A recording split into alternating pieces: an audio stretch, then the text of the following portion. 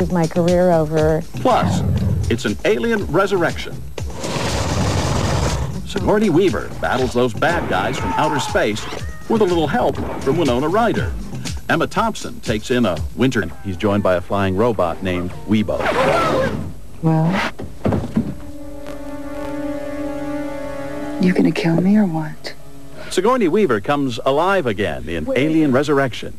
She reprises her role as Officer Ellen Ripley, who, after 200 years, is genetically resurrected. Winona Ryder makes her debut in this, part four of the Alien series, as a mysterious spaceship mechanic. Emma Thompson teams up. And Sigourney Weaver's out of this world in her new movie, but she says the real Sigourney is down to earth. Where do your insecurities lie? All over. Really? I think actually a lot of actors are really shy. But there are no insecurities when it comes to taking on aliens. And in a few hours, it's gonna burst its way through your rib cage, and you're gonna die. Any questions? In Resurrection. Who are you?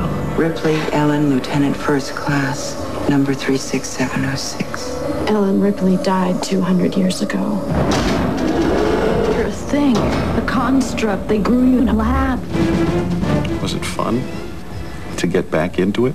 What was fun about it was playing um, Ripley sort of uh, with this genetic crossover sort of tuned up. And, and Jean-Pierre, our director, gave me a lot of leeway. So I, I, I, fa- I found the part sort of physically and, and sensorily first. And um, Winona was attached. And uh, the script was gave me, um, as an actor, a chance to sort of play, I would say, this sort of anti-Ripley. They've taken it out of you. Where is it? Is it on the ship? You mean my baby? She actually has some real bite this time around. Yes, yes. It's gonna burst its way through your rib cage, and you're gonna die. Any questions? Was there a particular role that you had in mind that was a dream role for you? Well, I think it was Helena in A Midsummer Night's Dream, and I think I'm too old now, but um, I think my dreams were very theater-oriented, and uh, probably some of them still are. Um, was not my goal to become a, a movie actor. Are you glad it happened?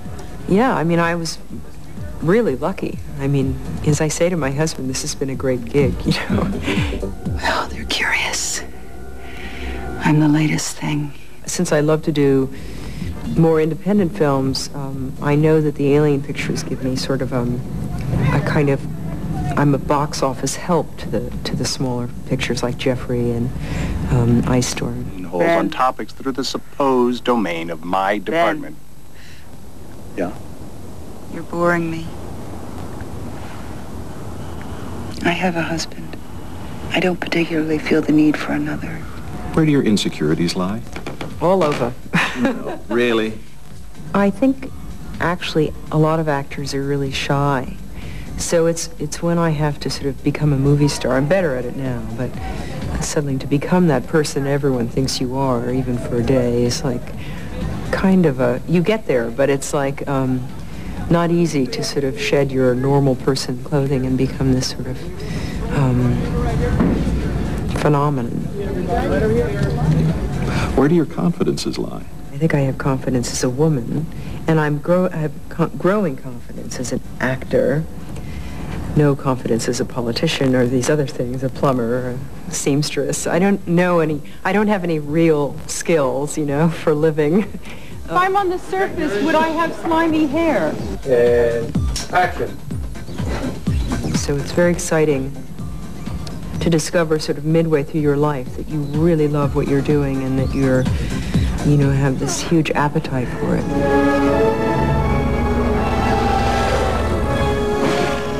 Actress Winona Ryder was hungry for the chance to work with Sigourney Weaver in the latest Alien film, and she got her wish.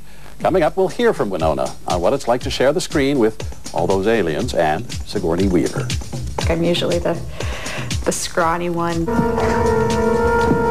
Scrawny no more, Winona Ryder toughens up for an alien encounter. The only preparation you can really do is the physical stuff because you can't apply any logic or reality to the situations you're in if you're in outer space and you're fighting aliens. And resurrection. Leave him. We're not leaving him here. He's got one inside of him. Look, we can't just leave him here. I thought you came here to stop him from spreading. What's inside me? There's got to be a process. Can you stop it? I don't think you've made anything quite like this. No, I mean, I was really excited to even be asked because I, I don't think people usually think of me for stuff, uh, science fiction or, or anything where I would have to handle a weapon or be tough or anything. I feel like I'm usually the, the scrawny one. It's true. Audiences aren't quite used to seeing a knife-wielding Winona. The 26-year-old actress is more commonly cast as the troubled youth, like in Beetlejuice or Mermaids or Heathers, or the proper young lady, like in The Age of Innocence. Shall we elope? If you would, why not? You do love me, Newland. I'm so happy.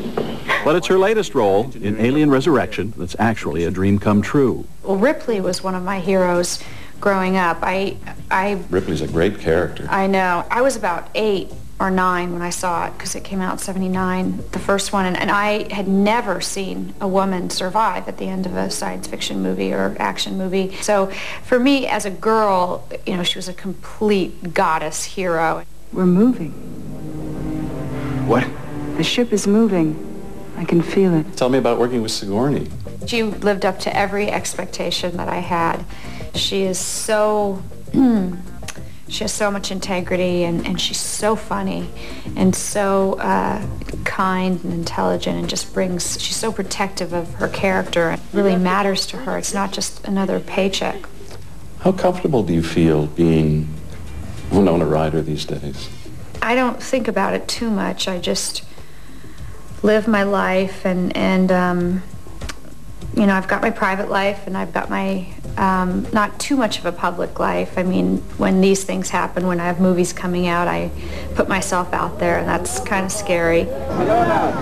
Peter, Jill from CNN, Winona. Hi, Nancy Harrison me. Nice to meet you, Winona. I have live in San Francisco and, and um, you know, have a great family and a lot of great friends and it's, it's actually been really nice the last few years. I, think I had a couple real rough years in my late teens, early 20s where I was very caught up in um, the pressures of being in the public eye at all. I think every like late teenager goes through an identity crisis and then to go through an identity crisis in front of Mm-hmm. in magazines and, and in interviews. How do you deal with the, the role model thing? It's the kind of the thing I use when I can, when it's good, and then when I don't like it, I don't like it.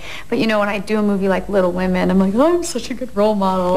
Oh, everyone loves me, and, and you know, and and then when something else, you know, like smoking, I'm like, I'm not a role model. What are you talking about? You know, it's, but it's a weird, it's a very long discussion. But I want to do something different.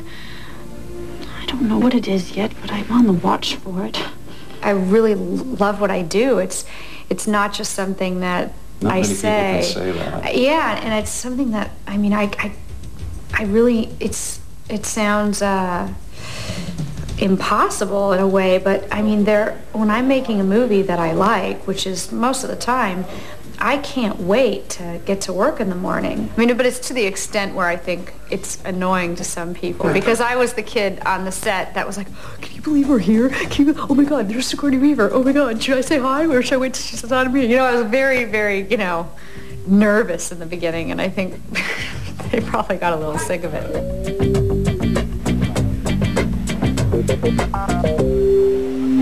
Filmmakers are hoping Winona attracts a new, younger generation of alien watchers. There's still more to come on this special edition of E! News Daily. Anne Heche burst into the public spotlight when she came out of the closet with girlfriend Ellen DeGeneres. If I'm on the surface, if I'm on the surface, would I have slimy hair? Parce que je, je suis sur la surface maintenant. C'est plus tard que je.